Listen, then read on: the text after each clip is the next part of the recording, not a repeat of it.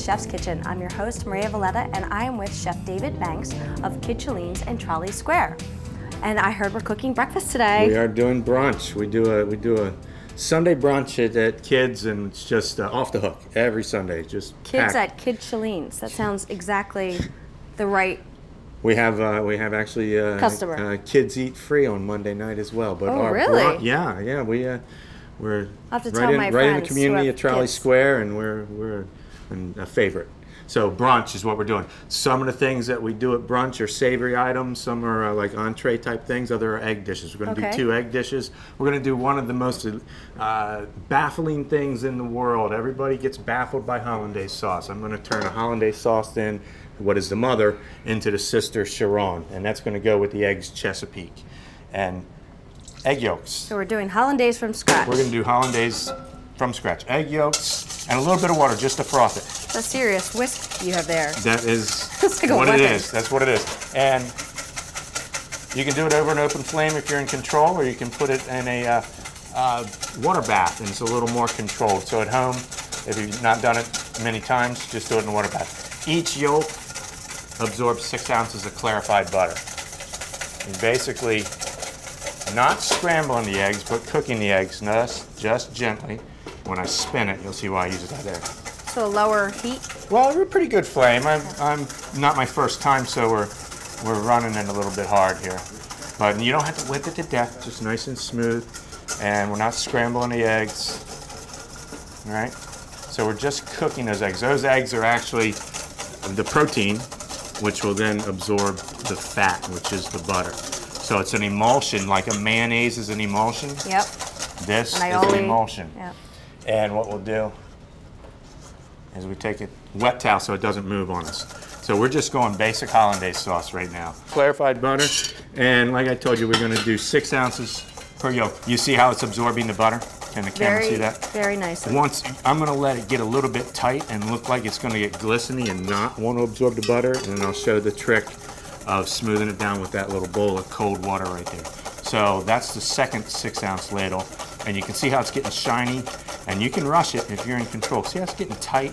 Give me a little bit of that water, just a little, bit, bring it on over, drop it in, and that'll, go ahead, beautiful, a little bit more, a little bit more, All right. a little bit more, you're good, one more time like that. Perfect, now that right. smoothed it out, Oh yeah. and that allows us, yeah, see, that smoothed it out, and that's gonna allow us to, and when you drop your butter in, drop right into the middle of the whip.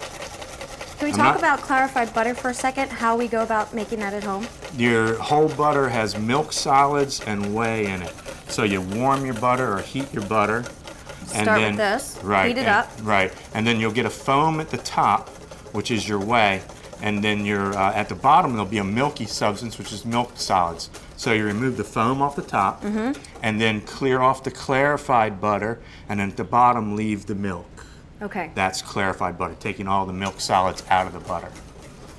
So there's definitely a big difference between what you poured in there. And that, yeah, and and that emulsified, and that made a super nice silky hollandaise sauce, which we're gonna gently turn into.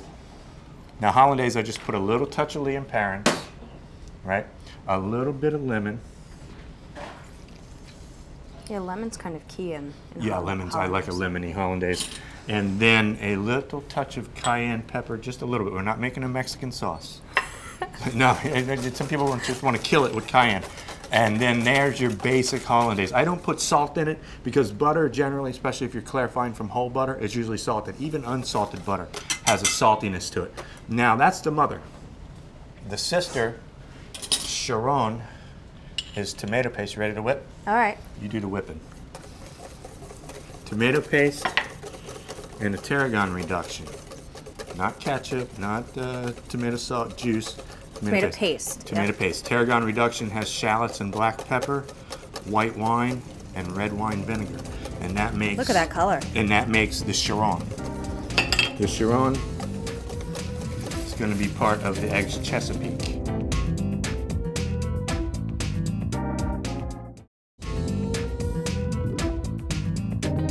We're going to have poached eggs. How do you make your poached eggs, chef? Well, we take poached eggs in water and lemon. The acid in the water uh, coagulates the albumin. The So white you use lemon egg. instead of vinegar. I do. I don't like vinegar in it. Doesn't. It's not the taste that I want. I think that's a great tip because when I have poached eggs, I often can really taste the vinegar.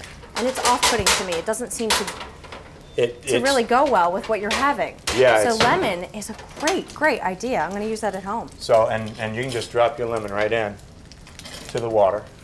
Hollandaise is made. We're cooking the crab cake, nice and gentle on that. So your crab cakes you cook in oil or butter?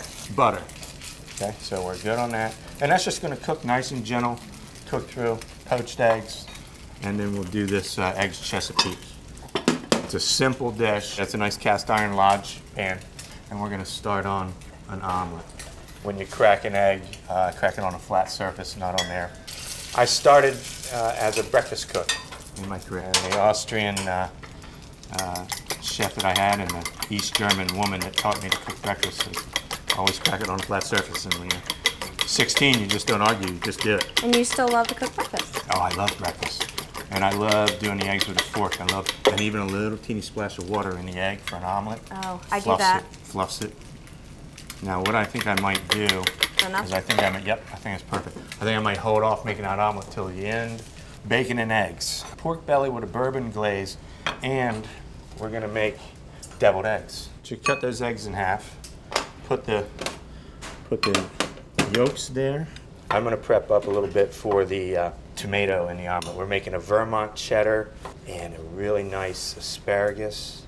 And you see the fillet of tomato, just taking the seeds out of the tomato. Split it a little bit, press it on down, and then come on out with it. That way we have just the pretty red. Okay? You want me to take the yolks out of these? Yeah, put the yolks in there. And you see this pork belly here? This is the bourbon glaze. Is Wow, uh, that's bubbling over. Well, not over, We're basting. coming up very nicely. Oh, they're kidding me. This is going to be so good. So all these recipes are served um, at kids? Yeah, we have these on the brunch menu. Uh, the eggs Chesapeake is a special that we run. The bacon and eggs and the omelets of, and the uh, shrimp and grits that we're going to do.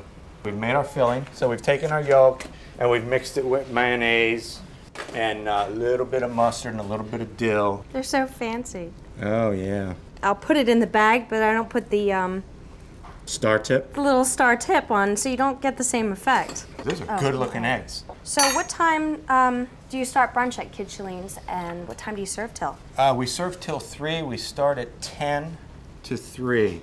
That's uh, good. Every Sunday, yeah. And I'm we a late bruncher. And on our brunch menu are lunch items as well. Uh, so it's not, uh, you don't have to have eggs. So there's like uh, the shrimp and grits and the bacon and eggs and the crab cake. Uh, that's all, that's all available. And then in the evening, what kind of food do you serve? We're kind of a Santa Fe, Colorado to uh, Texas, uh, southwestern cuisine. Okay. Uh, with some real uh, focus on fresh and local. We've got some uh, very healthy, healthful salads, and we have a falafel, and we have uh, uh, beets and chev, and we have a lot of those things that are very attractive to uh, a different clientele, female, Vegetarians for that. vegetarian. Uh, we have uh, two sizes of hamburgers, a nice six ounce and a, and a 10 ounce. Uh, burgers are something that we're known for as well. We have a burger day on Tuesday. Burger and day we'll on do, Uh, we'll do so many burgers. that. It's unbelievable. Sounds like a real neighborhood spot then. It is. It's, it's, it's very much that. So we've got some grilled bread. So bacon and eggs. Wow. We've got the pork belly. Look at that sticky sauce. I know. It's one hot pan. It's all right. That smells good, doesn't it? It Smell the does smell good. Yum. So we'll just take the bacon. So you're gonna serve the little um, ir- cast iron dish on top of this dish here. Is that what you're doing? Correct. And then the bacon goes down. Then the eggs go down. And then just a little bit of, uh, we'll take a piece of parsley here. That is a really fabulous twist on a bacon, and eggs. Yeah. Bacon and eggs. So then we have, and then that bourbon glaze goes right back over. Pour it on. Pour it on. I like it. I like it. So that's bacon and eggs. So eggs Chesapeake. The lemon's in the water. It's done its job. Again, what that does is the acid coagulates the albumin, which is the white. Makes everything stick together so you have one solid piece. Right. And when you're poaching an egg, don't get your, don't let your water be super hard boiling because it kind of gets you messed up. So we just dropped our poached eggs in. we're going to finish this dish. This is going to be the eggs Chesapeake. Eggs Chesapeake is crab cake. Do you use uh, lump crab meat for that? This is a jumbo lump and, Jumbo a, lump. and a colossal. And what we'll do is we'll press it down. Because that's You're what we're mushing gonna. 'em. Yeah, we're gonna nest our eggs on that. That's great. Yeah. Oh, he smells good. I can smell the crab when you did that. We're gonna This is all crab meat. There's no That's- filler or anything in well, this. the- it, it's interesting. The way I make it uh, is uh, the filler is the jumbo lump. So I take my bread uh, and you know breadcrumbs and butter and uh, mayonnaise, a little bit of mayonnaise, a little bit of onion, and then I smush all that in with jumbo lump crab meat. wow. With jumbo, so my, my binder is a jumbo lump paste, and then I fold in colossal into that. The poached eggs are close. Slotted spoon, a little bit longer. Ever poached an egg successfully, you don't make golf balls. You make a nice That's so poached. beautiful. egg. Uh-oh. Don't you break. Here she won't. He's holding. He's holding. Yeah, she won't break. She just showed you. Oh, you're going to put both on here, huh? She's in control. Yeah. Yeah, I'm putting both on. My dish is a little bit, all right. Okay. Hmm. No break, we're good. They smell great, and there's no vinegar essence in the air. No, yeah, I, I have a, something that I teach to my cooks and I, I tell them they don't want that, that flavor. We just don't really want that flavor. Lemon's perfect, does the job.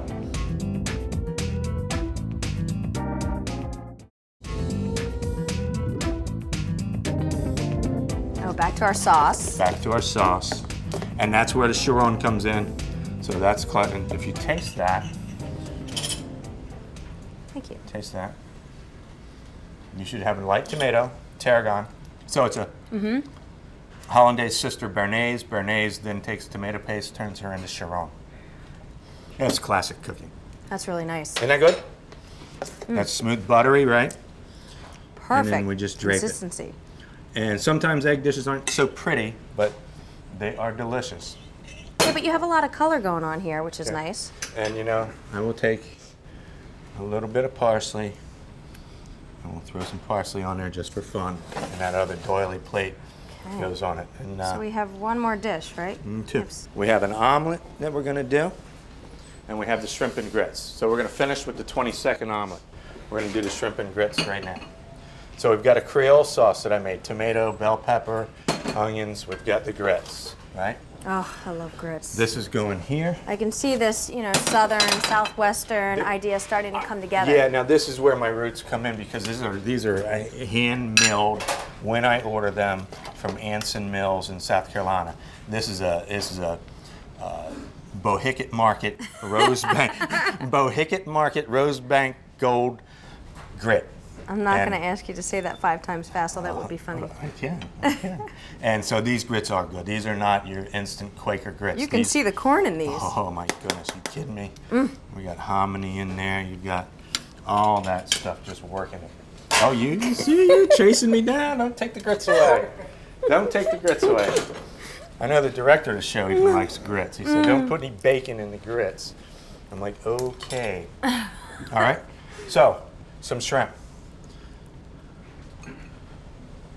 Creole sauce here is already hot. Two, three, four nice quick shrimp.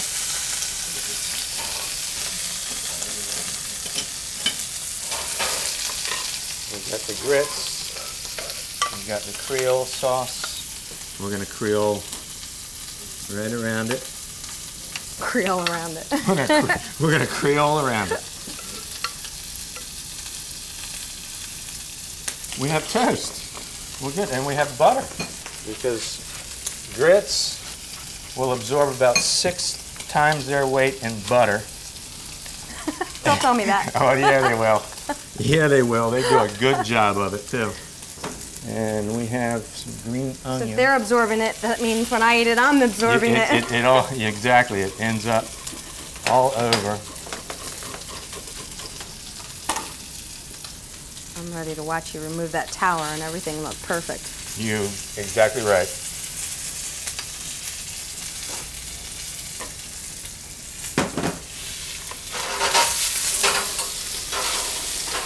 Okay. A little salt, a little black pepper. We're cleaning up as we go. Yep. And we're dropping that out. Let me get a little bit of on there. All right.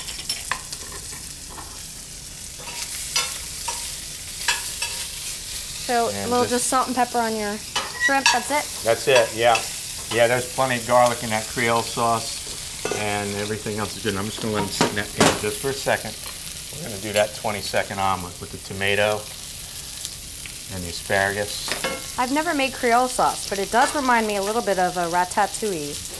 But I imagine it has a lot more. Uh, yeah, no, no eggplant. Creole uh, spices. No eggplant or Okay. olives, and I put olives in my ratatouille. Not everybody does, but I no, do. I, I don't. And you don't put olives in your ratatouille? No, you don't. Yeah, I do because I I, just like love olives. olives. You don't like olives? I don't like olives. Yeah, I like well- olive oil. I don't like olives. I don't know. Interesting. Clarified butter for an omelet. Do you have to use clarified butter? No, you can use uh, oil if you want. The whole butter doesn't work so well. Okay. Uh, So- because it burns. Yeah, you it gets get- brown, and then you're you have a colored omelet, which isn't really the goal. So we've got the Creole Oh, so cute. shrimp. Come here, come here, shrimp.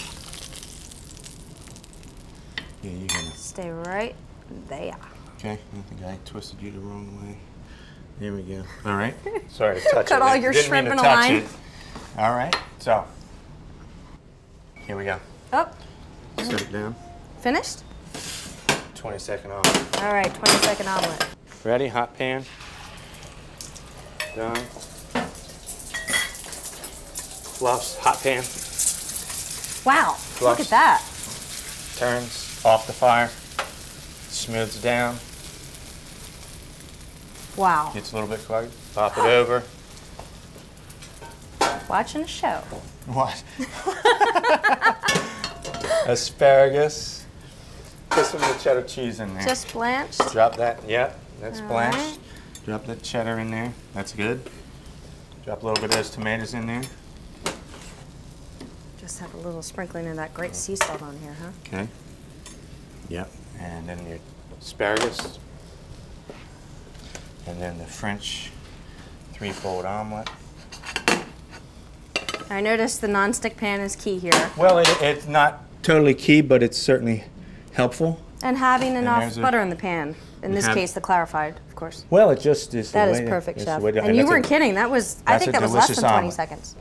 Well, the show's running long, I guess. So there we go. Now, what we'll do is, uh, is we'll put a little bit of that to tell you what is Inside, inside of it.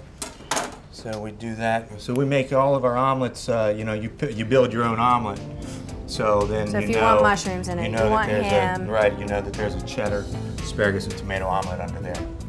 Okay. One smart cookie. There Let's taste.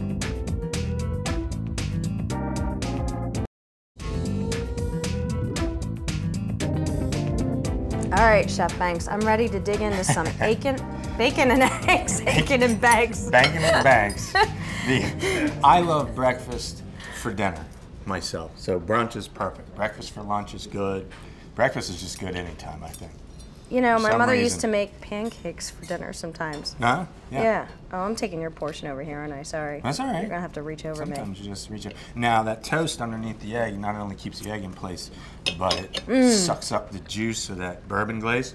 All right. The Did you hear sweetness that? of that sauce. Mm-hmm. Oh man, that's Mm. bacon. I don't want bacon any other way after that. That's fantastic. Eggs Chesapeake. My bacon and eggs will never be the same after that bite. Wow. Okay. okay. Oop. Uh, There you go. There he That's the way it goes. So you've got crab meat and egg and Choron. Sharon. It just sounds sexy. It sounds sexy. Mmm. Mm. delicious. That crab is fantastic. Mm. I love the sauce. Let's work the egg dish. We'll work that omelet. Okay. Nice and fluffy. Cut me a little piece. There you go. Sorry. That's all right. Busted it up. I like asparagus. I can't believe you did this in 20 seconds. You see it? I saw it. Almost didn't. I closed my eyes. Forget it. mm, Yummy. So fluffy. Mm. Very fluffy, yeah. And a three-fold, not a, it's not a half moon. All right, Three-fold omelet. Now, back to your hometown here. that's right. Getting down to the Let's roots. let's check these are grits. grits out. Mm. Mmm. You kidding? Rich and homey. Ooh, Tomato and grits. that Creole spice Mm-hmm. kicks in. yeah. And you know, if we were at um in the dining room, um, we'd be making our own Bloody Marys, wouldn't we? Yeah, we have a Bloody, Bloody Mary bar. bar. It is off the hook. The whole. Gee, I can't remember how many hot sauces we Mm. offer as a as a uh, Well, choice. Mm. Very Chef, good. I'm coming for brunch. I good. I like it. I'll be here this weekend. Can't wait Thank to see you. you. Kid Sheleen's brunch with Chef Dave Banks. Cook something from the show? Went to a restaurant that you loved? Found a place serving innovative cocktails or impressive wine? Become a fan of the Chef's Kitchen on Facebook and share your thoughts.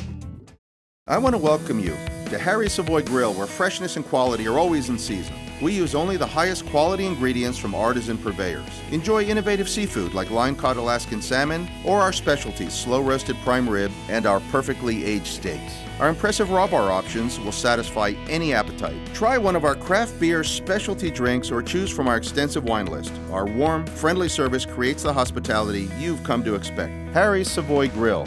Quality so fresh, you can taste it.